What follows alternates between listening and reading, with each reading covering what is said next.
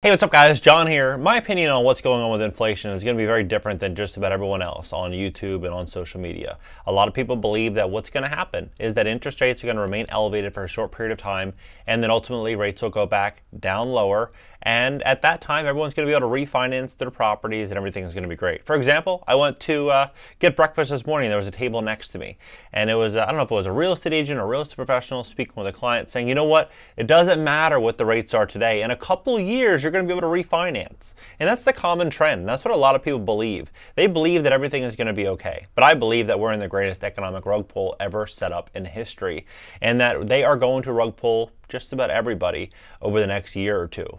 Based on just the chain of events, the facts, what actually happened. Over the last three years, they printed 40% of all USD since 1776. In the last 250 years, they printed 40% of all of the money supply. And then on top of that, they made all bills optional.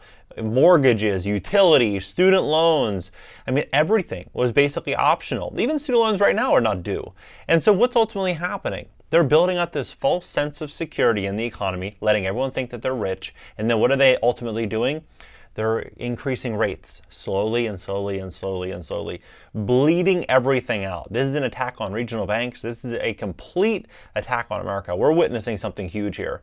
And if you connect the dots, you'll see what I see. And I'm going to walk you through it because this is nuts. And I think ultimately, when we look back on this and, you know, in due time, we're going to realize that you know, I think I was spot on. And I think that we're going to see some people make a lot of money because they're positioned for what's actually happening. And we're going to see a lot of other people that think it's just, you know, some crazy theory and it's not actually going to happen and everything's completely fine and the world's fine and, and there's no issues. I mean, I just don't see that. But, uh, I mean, look at this. So, US inflation cooled significantly in May, but it's not where the Fed wants it. Well, wouldn't a logical a logical thing to do if they wanted to bring down inflation be to increase oil production to drive down the cost of energy? Because that alone would decrease cost across the board. But no they're not doing that. They're putting out all these new green energy policies and they're putting out these uh, new protections for the environment which are ultimately going to be inflationary. So they're putting forward inflationary pressures all the while. They're costing the they're increasing the cost of service debt across credit cards, uh, mortgages, commercial loans, uh, adjustable rate loans, home equity lines of credit. Uh, all of these mortgages are increasing the cost across the board, right? Why would that make? Why would they do that? If they were trying to draw draw down inflation, wouldn't they? Wouldn't they just drive down energy costs first? Wouldn't that be the first priority? Because look at this. I, I googled this, and I'm like, hmm, this doesn't. Look at this. So you scroll down here, first article. The first article says the, con- the conventional tool of monetary policy, such as short term interest rates, affect demand side conditions by altering cost of borrowing. These conventional tools are ineffective in controlling supply chain generated inflation. Unless we tackle climate, prices won't stabilize and persistent inflation will become the new normal. Right? This is, this is what's actually happening. It, it's, but we are going to likely see Jerome Powell continue to increase interest rates. Maybe in the short term, maybe tomorrow's meeting he doesn't increase rates.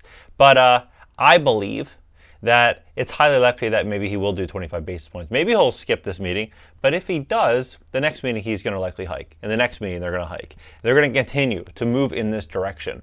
So, how bad is this, this situation? Well, U.S. inflation cooled significantly in May, but is not where the Fed wants it right now, remember uh, when Jerome Powell said that he's going to keep hiking until something breaks? So far, nothing's really broken. You could say SVB, you could say First Republic Bank, you could say Credit Suisse, you could say that, but they're not. They're not giving that the gravity of what they consider as something breaking. They're basically saying, you know, it, it's fine. You know, these banks were poorly funded, or these banks were, you know, they were irresponsible, or whatever uh, excuse they want to have, but if you look at what's going on in the labor market and you start to connect the dots here, you'll start to see problems. So, so far in 2023, we had 206,000 employees laid off. So far, or all of last year, we had 164,000. So we are on track, probably by the end of the year, with the current trajectory of rate hikes, probably to hit somewhere around 450,000 uh, employees laid off. And at that number, at that number, conservatively, that's twice as bad as last year but we're moving into a, a, big direction in which all these corporations, you look at these these names, Grubhub, um, I mean, a lot of these tech names are issuing these layoffs, and they're they're laying off large large blocks, uh, Linktree, but they're laying off large blocks of employees, which are likely going to be replaced uh, with international talent or AI, robotics, and technology over the next five years. This isn't going to be something that's going to happen gradually or something quickly, but uh, what we're starting to see here is corporations are going to be restructuring how they fund and finance their businesses, uh, all of which is going to have a really big impact on affordability in America. Now, one big, really big uh, caveat here that a lot of people do not realize is this real estate problem. This real estate problem is worse than I could even think. You know, 98% of borrowers have below market mortgage rates. That's keeping housing inventory tight. People are locked in to their homes. Now, some people might be like, hey, that's good. You know, it's better than renting. And I would agree with you. 100% I would agree with you.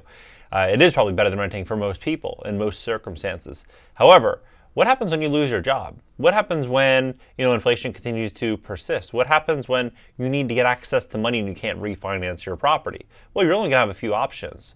These homeowners only have three options. The first option is that they, you know, they're underwater. They give the house back to the bank. That's that's one option.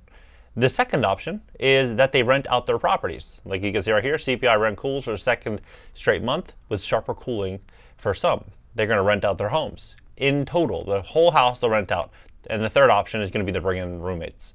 There's really only three. You could say Airbnb is the fourth option, but you know, to me, that's renting out your house. So this is what's going to happen on a large, large scale all across America as we continue down this journey. And so when that does happen, we're going to likely see rents across the board continue to fall across multifamily and commercial real estate.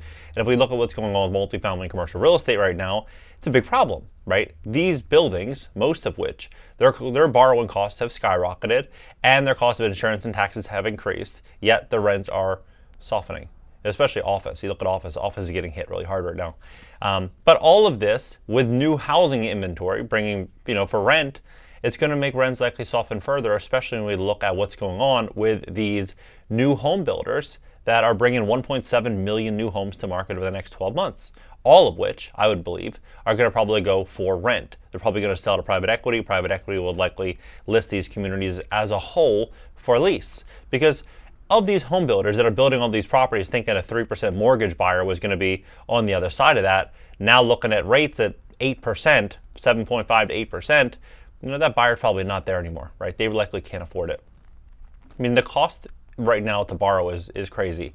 And people don't realize this. Uh, more than 40% of all U.S. mortgages were originated between 2020 and 2021 when the pandemic drove borrowing costs to historic lows, right? 4D, not 4. I had someone in the comment section the other day saying 4, only 4%. No, it's 4D percent. Nearly half of all mortgages in America were taken out at record high home prices people are locked into their homes; they can't escape. Um, it's a it's a bad situation. Like if you look at just borrowing 100k on your home, well, like on a refi at eight percent, it's 734 bucks a month. People be like, okay, that's not a bad payment. But for you to qualify for that, you're gonna have to show an additional probably two grand a month in additional income over your current expenses, which is going to be really challenging for most people to do to access 100k. And then ultimately, that's going to you know put a lot of people in a, in a worse situation to get take an 8% mortgage. As we look at that, we start to see this new trend that's popping up that's huge, and I think this trend is going to uh, create a massive bubble. It's this buy now, pay later. But this affordability crisis is driving people to have no other option but to move forward into this buy now, pay later scenario. And this buy now, pay later scenario 60% of all consumers are using buy now, pay later. This is as of 2021. This is when the market was good. This is when people were making money with, you know, selling JPEGs and altcoins and doing all these different things and they were making a fortune. You know, investing in stocks, they had no idea what the company really was, what their, you know, P&L looked like, what they had nothing. They had no information. They just saw something on Twitter and they invested and made money. That was the dynamic in 2021. And at that time, 60% of consumers were using buy now, pay later, right? And this lady is even talking about a story that it seems like I would imagine this story is going to be much more like the traditional everyday American story. About two months ago, Israel, a part time grocery worker in Flint, Michigan, was in the checkout at Walmart staring at a $400 bill and she had recently lost her full-time job as a recruiter with a lot less money coming in $400 is a lot to handle at once. So she paid for her purchases with klarna a buy now pay later app that divided the payments into divided the charge into four payments and she made payments every two weeks. It definitely helps a lot with bills. Instead of taking it all out at once i don't have to use my credit card. I'd rather not be in debt with people. Well, she's in debt with Klarna. But this is going to be a huge, huge trend. Uh, this is going to be a big, big trend. It's already kind of starting right now. It says Americans using buy now, pay later to afford groceries. Look at this article right here. So the Lending Tree survey showed that the largest percentage, 46% of consumers, have used the method for clothing, shoes, and accessories, with home furniture, appliances the next largest category, 34%. Technology, beauty products came at 27 and 26% respectively. What's more, 20%, 21% of shoppers use the plan for groceries, 18 use it for events, 11% for travel. Uh, this is huge. This is this is big. Um, but you know, the Fed says bank the banks are going to likely tighten. Well, what do you what would you guess, right? If you were to look at things clearly, look at things very very clearly, not from a consumer, from a bank. You're looking at most people are underwater. You're starting to see rise in bankruptcies. You're starting to see more and more layoffs. You're seeing record high consumer debt of $17 trillion, most of which was locked in at much lower rates, and the cost to service that debt is going up every single month when real time wages are falling what, what do you think is going to happen? You have commercial rents that are starting to come down. A lot of these regional banks are holding a lot of these loans. Would you go out there and say, you know what, I want to issue a ton of loans right now? No, you probably wouldn't. You would probably, you know, batten down the hatches, and you would only lend money to people that, you know, looked like they were going to pay you back, and you would try to figure out a way in which you could weather this upcoming storm. And it is going to be a storm because they are going to continue to increase interest rates. They are not done by a long shot. This is not going to go away this year. Um, you like if you just like look at bankruptcies, core bankruptcies are set to reach a decade-long high. Uh, repeat bankruptcies are piling up at the fastest rate since 2009. I mean, corporate bankruptcy are edging up to new pressures to hit the economy. U.S. credit squeeze triggers rising corporate bankruptcies. Like this is this is what's happening, right? This is what's happening. Uh, what do you think? Where do you see this all going? I believe right now that if you see what I'm seeing, if you see these trends and you do want to invest, you do want to position yourself, one of the number one things you should do right now is look to make sure you can get out of. If you have credit card debt, get out of it. Like there's ways you can do that. You can get out of credit card debt. Um, you can do balance transfers. You can do other things. And the reason you want to do that is because as they hike interest rates, look at like credit card interest calculator. Go look up your your situation. You can type in your numbers, and you can look at the difference of how much this actually costs you every single month. It might be shocking based on just the discrepancy of interest rates as they rise. I mean, you might pay an extra two, three, four thousand dollars in interest on the difference of a few thousand bucks worth of you know debt just making the minimum payments. Because as they keep hiking interest rates it's going to get harder and harder and harder to get ahead. There's still a lot of credit card companies right now that are issuing balance transfer options for 0% interest. So i would explore that. You need a credit score of about 700 between 700 and 720 in most circumstances to get approved for one of those. But I would definitely look at that. I would just make sure you position yourself for this uh, learn, study, read, and position yourself in a business or some type of vehicle that's going to be able to weather the storm. Uh, there's going to be huge opportunities for people that see, you know, what's actually happening. And I think that a lot of people don't. A lot of people, I think 90, 95% of people probably think that this is just going to be fine. It's not going to be a big, big deal. It's going to be like a, you know, a 2020 situation where, you know, it, it drops and they bail everyone out and everything's fine. It's a buy the dip moment. Uh, I think it's going to be a little worse than that. I think there's going to be huge opportunities.